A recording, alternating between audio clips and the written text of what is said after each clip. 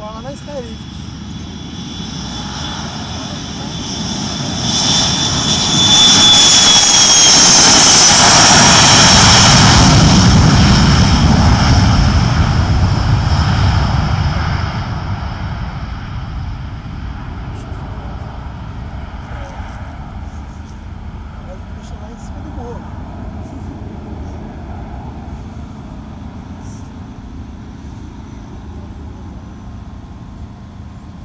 A Mormenta tá aqui. Sério? Bateu agora?